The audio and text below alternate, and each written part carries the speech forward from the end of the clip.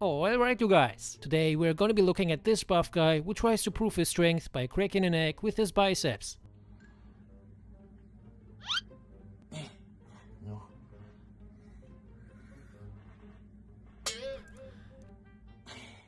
The egg slides away because his arms are too oily. His triceps hangs lower than a 1964 Chevy Impala with a flat tire. Now he tries to crack the egg open with his other biceps. But it doesn't work again because he trained his arms, not his brain. Two dogs appeared in the background. They're like, not this again human. And the reason why he is not able to crack the egg is not because he is too weak, it's because the egg was laid by this chicken. He is so strong and intimidating, when this chicken crosses the road all the cars stop.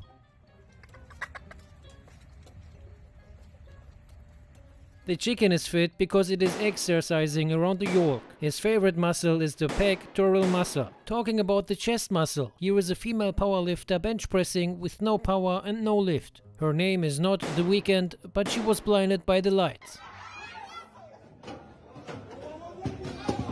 She got stuck under the bar like she gets stuck in the washing machine twice a week. And the only thing she powerlifts is her voice to tell those guys that she has a boyfriend. This is her boyfriend and he's not having a quarter life crisis, he's having a quarter rep crisis. If you add all the ups and downs together, it comes close to one rep. The bar is getting more action than his girlfriend. He doesn't need a spotter, he needs a priest. And he's wearing Nike shoes, but he just didn't do it.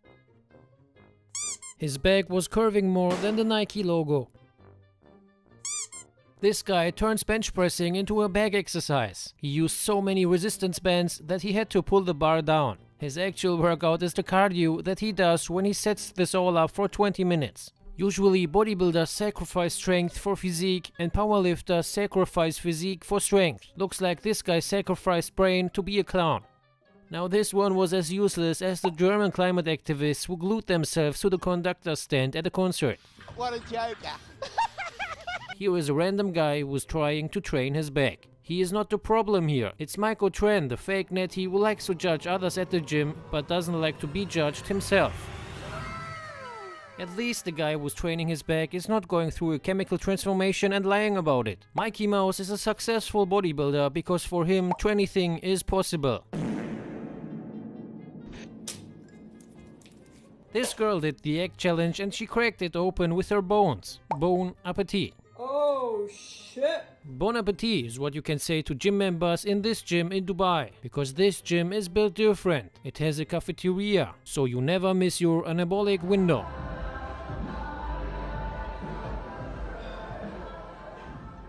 Anyway, you guys, always remember at the end of the day, it's night, and every little thing is gonna be alright. If it's not alright, it's not the end.